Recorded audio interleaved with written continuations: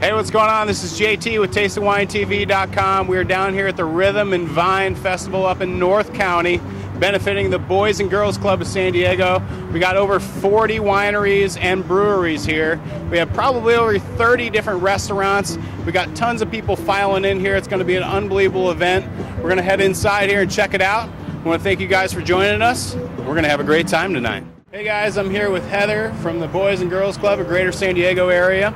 Actually, she's one of our, obviously one of the sponsors. She's sitting here at the booth where you can pick up some sodas and waters and drinks and some pamphlets. I'm going to turn it over to her real quick and uh, tell you a little about the event tonight. We are actually the beneficiary of the event, Rhythm and Vine, here tonight, and um, it's our first annual uh, Rhythm and Vine. First time we're going to be doing this event for the Boys and Girls Club, and so we're really excited. All of the vendors, the wineries, and um, lots of great music and all of that. So, really excited about what's happening tonight. That's great. We obviously have a good little trickle coming in here right now. It's a little early, the sun's still shining. Not too many people have their buzz and bubble going yet, but I'm sure it's going to be a great time. Absolutely, absolutely. and raise lots of money for the Boys and Girls Club. Absolutely, and that's obviously the main reason here. Not the buzz and bubbles, well, that's part of it, but for the Boys and Girls Club of San Diego. So we're going to have a great time. Heather, thank you very much for everything you're doing. Thank you. And uh, hopefully we can get a lot of people to stop by your event. Great. All Thank right. you. Thank you very much. It. So I'm here at uh, Morey Cellars, which is actually an awesome wine, great wine. It's an award-winning wine. Standing next to Robert Morey right now. He's going to be serving up some people. Um, as soon as he gets done, we're going to ask him a couple questions about his wine, and not to not to look onto someone else's plate, but that looks like a really good taco. This is the 2005 Napa Valley Cabernet Sauvignon. It's 100% cab from a little vineyard off the Silverado Trail in uh, the Oak Knoll district. And I made seven barrels, 175 cases of it. Definitely Bordeaux style wine. It was 36 months in barrel, so we just released it last week. Sir, would you mind taking a little quick taste of it and actually uh, facing right over there and tell us what you think about it?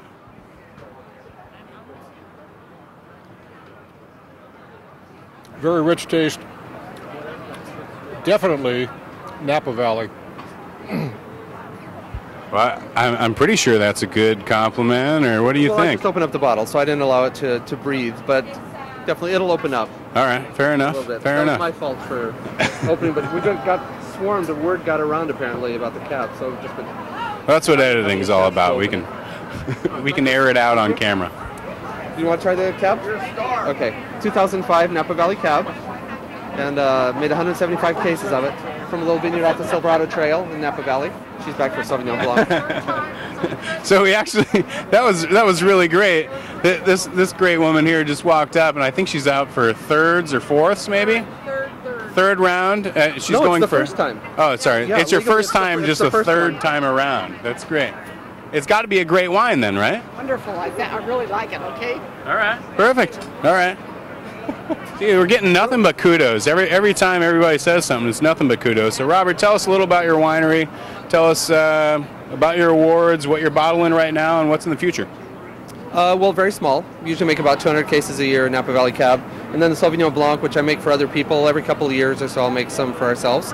Uh, so this is really the first commercial release that we've done of Sauvignon Blanc under our own label. Um, basically, we're not starting with a big fortune, so uh, unlike many people in Napa Valley. So we just take our money and reinvest it and let it bootstrap from there. Uh, things right now, obviously, are a little bit tight with everybody. So we lost a couple of restaurants in Orange County where we're pretty much in a lot of places.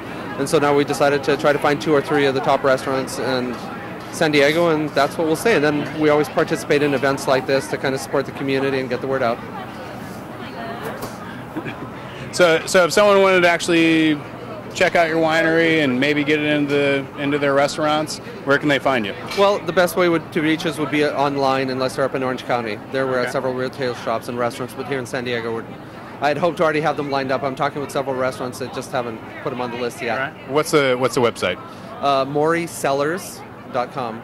M O R E Y C L L A R S. All right. You got it. MoreyCellars.com. Check it out. It's an award-winning wine, one of the many here. Make sure you talk to Robert when you call. Life has taught me to just try and be the best that I can be. And I, I thank the Academy for saying to me that on this given night, I was the best that I could be.